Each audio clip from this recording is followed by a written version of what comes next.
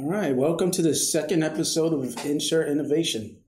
Um, today we have Ed Hart, who's a Senior Vice President and Director of the Center for Family Owned Businesses for First Bank. Ed, how are you today? I'm great, Benjamin. It's nice to meet you. Great to be here today. Thanks for having me in today. It's great. Likewise, we're so happy to have you here. Uh, so, Ed uh, also is a published author, public speaker, and host of his own podcast, Hard Heart Podcast, which is heard in over one, 101 countries. Yeah, I launched it in 2019, and it's called From the Heart. Mm-hmm. So my last name being Hart, so mm-hmm. you know, From the Heart, kind of a play on my last name. Very clever. But also, the purpose of the podcast is really when I interview people, I like to get to the heart of why they do what they do. So you can read a bio, you can read a resume, go on LinkedIn, but what you can't necessarily do is really find out why people do what they do. So I try to get to that when I'm talking to people. That's fantastic. Yeah, it's a lot of fun. Uh, speaking of which, uh, I, th- I, thought one statistic that I, that I read that was very interesting and somewhat impressive is that Ed also has eight grandchildren. Actually, the uh, is it more? Well, I was going to say the, the, bio needs to be updated. Is now nine. Nine. Yeah, okay. five six months ago, my youngest daughter had her third boy. So, and they're all boys. Wow. Nine boys. The the oldest is twelve. The second oldest, I'm not going to go through all of them. The 2nd mm-hmm. oldest turned twelve today.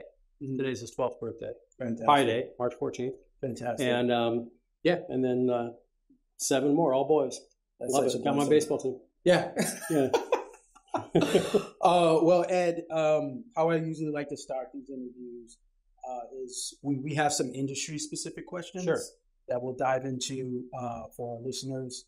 Um, but I always like to start with sort of getting to know the guests a little bit. So if you wouldn't mind just sort of like giving us a rundown of who, who Ed Hart is and uh, how, how you how you entered this this family business. That's why I asked you how long we were going to go before we started recording. I don't know how much time I've got. So, yeah, so well, I'm an Orange two minute version. Yeah, I'm the youngest of five kids. My parents were both they both since passed away, but they were executives and leaders here in Orange County for a number of years. My dad worked at Beckman Instruments for 39 years. Mm-hmm. My mom ran a center for women. Um, Women's Opportunity Center at UC Irvine for a number of years. So I've been around Orange County my whole life, youngest of yeah. five. Uh, the family business arena for me kind of happened by by accident, like a lot of people's careers do. Yeah. Uh, I worked for three different family companies over the years. I like to say I worked for sort of the good, the bad, and the ugly. Mm-hmm. I worked for a family business that was a great business, but the family had a lot of dysfunction. Mm-hmm. I'm not going to name any names here, by the way. No. And then I worked for a family business where the family was just salt of the earth, great people, but they had trouble running the business, and that's the main reason why they brought a lot of us in. Yeah. was to help on the business side. And then I worked for a family business that just seemed to get it all right. So a few years ago, I was working at USC up at up in LA, mm-hmm. and um, I heard about an opportunity to to lead a family business program at Cal State Fullerton. So I applied for, got that job, did that for 11 years, and I just I love working with family companies. I love helping them through some of the dynamic issues that they have, some of the conflict, some of the succession mm-hmm. issues, leadership development. So I just, I just have a real passion for family. It's it's you know seventy percent of the jobs that are created in our country are created right. through family businesses. So I really have a passion for that. Right. Well, that, that I, I feel like that's very noble. Uh, well, thanks. Well. I do it because I love it. I'm one of those lucky guys that just yeah. found my passion. Right. You know, that's I mean the key. They always say if you love what you do, you never work a day of your life. I don't totally. Work. I mean, I I get that quote, but I work. Right. But I love what I do. I mean, I, right. I love that every day I get up and I get to you know, meet with great people, do some fun stuff, and hopefully at the end of the day, make an impact on some of these families. Right. That's a very entrepreneurial mindset, I feel like. Um, and sort of uh, underscoring some of the statistics you just you just mentioned. Uh, I was reading a stat earlier that said 87% of the American business are family owned or controlled, as you mm-hmm. mentioned. Uh, but they also represent 54% of the U.S. GDP and 59% of employment, meaning family owned businesses directly affect more than half of U.S. workers. Yeah, you either work for your family or you work for a family, or you're doing business as a customer or a vendor with a family business. Right. We're, you know, we're in an election year. I guess we're always in an election, but we're in a presidential election year this year. Sure. I always joke, and I'm not a politician and I never will be, but yeah. I think if a politician, local or national, would focus more on family business, yeah, they'd probably win in a landslide because that affects so many people. That's that's. I think that's a very smart insight. Um, now, these numbers represent the vitality of family businesses in the U.S. from a statistical standpoint. Mm-hmm. Um, as as you were beginning to touch on, sort of like in real world terms, in your own words, could you explain how family owned businesses or elaborate on how family owned businesses benefit the U.S. economy? Sure, absolutely. Well, I think number one, most people don't realize the magnitude of the companies that are family owned. I mean, if you drive a Ford or you go into Walmart or you've been to Nordstrom or drink Jim Beam or whatever, I mean, there's you know, family businesses that we businesses that we're familiar with who don't realize that they're family owned. It's mm-hmm. like if I say, you know, I drive, I don't, but if I say I drive a blue BMW, now you're going to start seeing blue BMWs everywhere. Right. You know, I think that as I start thinking about family companies and people start talking about it, they start realizing how many more companies are family owned. Enterprise Rent a Car, you know, thirty billion dollar family owned company out of St. Louis, which is where our bank, First Bank, is headquartered. Chick Fil A. Um, Chick Fil A, family business. In and Out Burger, family That's right. business. That's right. Most of the McDonald's, the, the, the corporation's not, but most of their franchisees are family businesses as well. So I think how it impacts the, the economy is just how many people, as we alluded to, are employed by family businesses, right. but also just the, the massive amount of products and services that are created by these family businesses is just it's just astronomical. I think if you took a survey of most Americans, they could probably not name five family businesses. Mm-hmm. But then if you ask them to make a list of the 25 places they shop the most, 20 of them are family businesses. They right. just don't know it. Right. We need to do a better job of getting that word out there of who these family businesses are and, and brand them a little bit more. Right. Yeah, that's a that's a fantastic point. Um, what many people don't know, Walmart. Sorry, small as a small family business. Right. Berkshire Hathaway, uh, Chick Fil A, as, yeah. as we mentioned, at, at, one point were, were small family businesses yeah. and, and grew into large organizations. Um, so, for small aspiring family businesses today, who want to grow into large companies, from your experience, what are some of the things these companies did right, meaning the Walmarts of the world? What are the things they did right that family businesses today could learn from? It's a great question. I, not where I thought you were going with the question, so I, am gonna I'm gonna reprocess it in my head to answer yeah. actually what you asked. Mm-hmm. I think that never losing sight of who you were. Always always remember who you are. I mean, we told our kids growing up when we put them out the car door to go in the store. Remember who you are. That was our family tagline. That you know to this day that they pass on to their kids. Kind of a running joke in our family. But I think if you remember where you came from, remember your roots. I think that applies to everybody, not just a family business. But don't ever lose sight of the struggle that someone did to get you where you are today. Right. Uh, I mean, I there are a lot of people. You know, your background. You have a lot of people in your heritage that right. struggle Right. We all struggle, but I mean, for us to always remember where our ancestors came from, the sacrifices that were made for us. Right. You know, I look at um, I look at In and Out. I use In and Out Burger as a great example all the time. Number one, Lynsi Snyder, the owner, is a very dear friend of mine, so I talk about her a lot because she's a great friend. Yeah. Her grandparents founded In and Out in 1948, so mm-hmm. 76 years ago. Mm-hmm. And um, if you talk to Lindsay, she will talk about her grandparents and the heritage of In and Out more than she'll talk mm-hmm. about anything. Right. Because she's really tuned into it. So I think just don't forget where you came from. Don't forget mm-hmm. the sacrifices mm-hmm. that were made on your behalf. Right. And you're making sacrifices today that hopefully your kids and grandkids will remember as well. So right. the other thing I tell where I thought you were going, if you if you allow me. Yeah, sure. Absolutely. Um, what I tell young college students when I've taught them over the years, or what I tell these young family businesses that are starting out, is mm-hmm. find people who are doing what you think is successful Right. Identify your definition of success, first of all. Yeah. Then find people who are doing that and go talk to them. Right. Buy them a cup of coffee. Right. Ask them to tell you their story. Mm-hmm. People love to tell their story. They love talking about their experiences, mm-hmm. their sacrifices, the things that they've done to get where they are. So I tell college students every day, mm-hmm. first of all, learn their name, mm-hmm. address them by name. Benjamin, it's good yeah. to see you today. People love to hear their name. Hear and then right. tell them where you came from. Tell me your background. How did you get where you are today?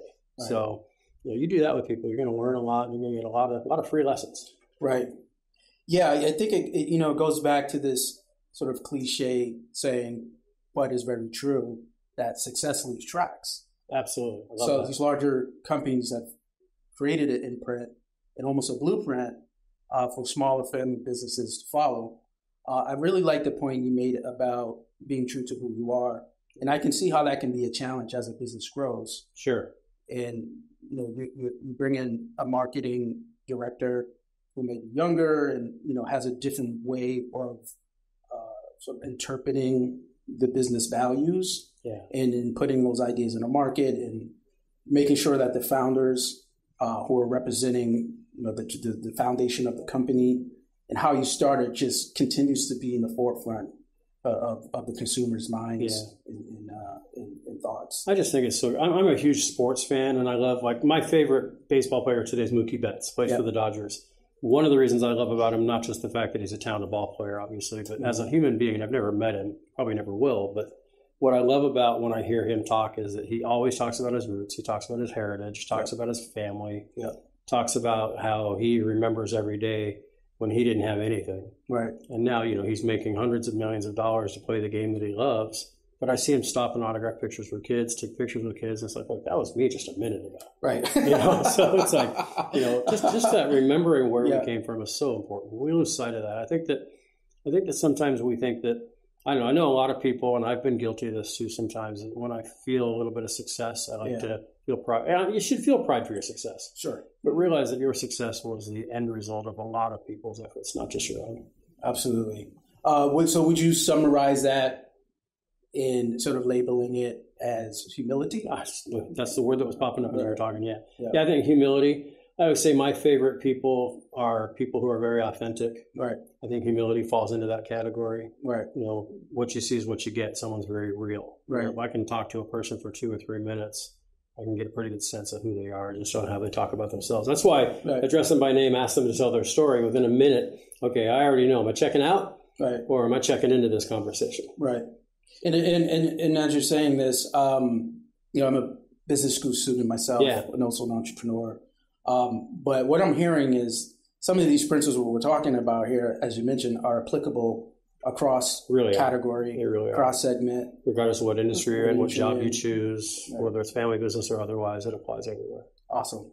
Um, so now we have some more industry specific Yeah, questions please. that I'm going to dive into Happy quickly. to, happy to answer that. Um, how do you see the landscape of family owned businesses evolving in the coming years, especially in the light of technological advancements and changing consumer preferences? Yeah, I've thought about that. I saw the question earlier, and I've been I think about that and talk about that a lot. Something that I'm seeing, a transition that I'm seeing a lot now is I'm a baby boomer. I was born in 1964. I'm the last gener- last year of the baby boomer generation. Mhm. There's Generation X after me, then you get into the millennials and Gen Y and so forth. I think that the the younger generations are much more community minded, much more philanthropically minded than maybe my generation. Yeah. Our generation is that generation that can give because we're in our 60s or older and we've built our nest eggs and we're probably in that position where we're maybe financially giving back more. Sure. Maybe not. I don't know. That's just maybe that's a, a, a stereotype that I shouldn't shouldn't believe. But I think what's happening in family businesses is you have a lot of younger generations who want to do multiple things. Yeah. You want to be involved. You want to start up a business. You want to give philanthropically. You want a lot of social time with your friends. You want to run a business. You want to be successful. But what I'm seeing in the family business front is a sort of a trend towards more non-family executives in a family business. Mhm. You know, it might be my business or my wife and I have a business. If we did, we don't, but if we did, it could be that we want to get more involved in our community and other things, and or maybe we don't have a child who wants to come into the company. So I think more and more family businesses are looking outside for help, Yeah. and I think that's a good thing. I think that I think the right person in the corner office, so to speak, should be the right person, Right. whether it's the right last name or not. That's a very, very good point. Yeah. Um, in your experience, what are some effective strategies for fostering innovation and adaptability within family businesses? I'm going to give the same answer to a lot of the questions because it's Yeah. so, for me, it's so important that we look outside of our own successes, our own strengths. Mhm. Who's doing what we want to do better? AI is the big thing right now. Not the Yeah. big thing. It's not. It's here to stay. Right. Uh, I've got a friend who runs a, a, a consumer packaging company. He designs logos for companies and helps them create their brand. He launched an organization all about AI about a year and a half ago.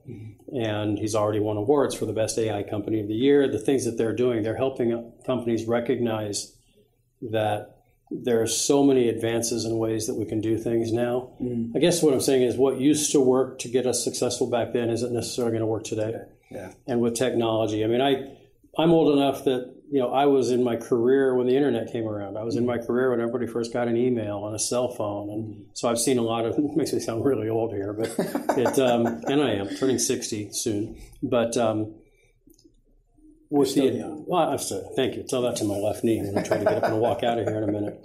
But um, yeah, I, I think just recognizing that there's so many technological advances out there, and if you don't know much about it, go learn. Yeah. You know, I've I've decided to just jump in and learn about ChatGPT and all these other AI programs, and now I'm sort of uh, addicted to it. I go down rabbit holes all the time, designing images and rewrite. I do a podcast, as you alluded to earlier, and I write all my scripts and all of my show notes and everything are done through AI now because it, what used to take me hours Wow. can take me 60 seconds. Wow. So it's just making me more, I think, more effective with my time. Right. Right. Um, embrace it, I guess, is the I would just embrace the technological advances and what you don't know, go find out. Find somebody who knows it, Yeah. or go learn it yourself. Are there are there any technologies plat or platforms that are specific to family businesses that some of our listeners that are family businesses could could look out for? I don't know about technologies, but I, I will tell you that there are a lot of programs out there. I know here at Chapman University, as an example, we're launching a family business, business initiative that I'll be a little bit a part of. I ran a family business program at another university locally here in Orange County for 11 years. There is an alliance of family business directors at universities around the world Sure. that meet on a regular basis that are talking about technology, talking about you know, succession planning, conflict resolution, leadership development, transition, and so forth. Uh, Most, if not all, of the issues that a family business needs to know. So that's not really an answer to your question of technology out there, but there's a lot of resources out there for family businesses. If you're Right. wherever you are, if you're hearing this interview, go into Google and just type in family business programs, local family business programs or something, and it'll give Right. you a list of the universities and Sure. consultants that are out there in your area. You know, um, my entrepreneurial uh, mind here makes me think that because family businesses make up so much of the U.S. economy, Yeah. I wouldn't be surprised to see new innovations and Good point. specifically targeting Yeah. how you can make those family businesses more efficient.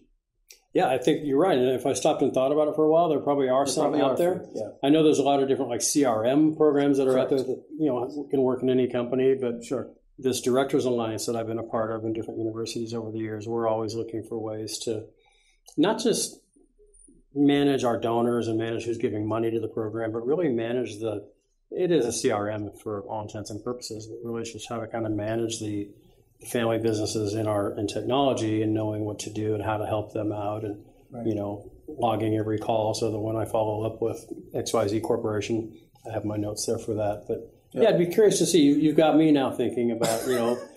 see, I like being a guest on a podcast because you know I don't. I like hosting better Right, right. because I don't have to be an expert on anything. But Sure. as a guest, I figure you, there's some answers that you want from me that I'm not giving. But Right. yeah, I don't specific technologies. I'm sure that the minute the camera goes off, I'm going to think of five. Well, uh, may, maybe uh, you'll create your own. Hey, or we will. Who knows? Maybe, uh, exactly. Yeah. Maybe Young that's what it entrepreneurial student like you. Yeah, that's right. That'd be a great outcome for this podcast. Hey, why not, right? Yeah, we'll go. We'll we'll uh, we'll be that next Walmart. We'll be that next one. Yeah, we'll be. Remember when we did that interview back at Chapman back in 2024? I love it. I'm in, man. Let's do this. Yeah, I love it. I see some synergies there. Absolutely. Uh, so we touched on this a little bit earlier.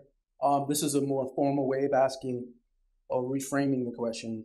Uh, how, how do you recommend balancing the preservation of tradition and heritage with the pursuit of innovation and growth, specifically in growth businesses? Man, we got great. These are some of the best questions that I've heard. I like these. I, I- think a lot of it goes back to not forgetting who you are. Yeah. You know, I mean, there are so many new ways. There's, there's a family business I met up in Santa Barbara that launched 150 years ago making railroad ties. Mm-hmm. Okay, this is the wooden little things across the bottom of the train tracks. Mhm. And that's what they did. Today they make semiconductors for your cell phones. Mhm.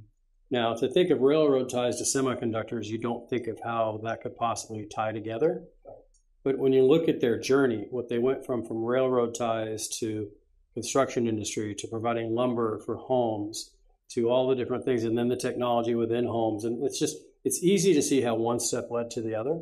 Mm-hmm. So I would I would suggest as the younger generation, especially, comes into a family owned company, Yeah. there's so much expertise there with their education and their passions. Yeah.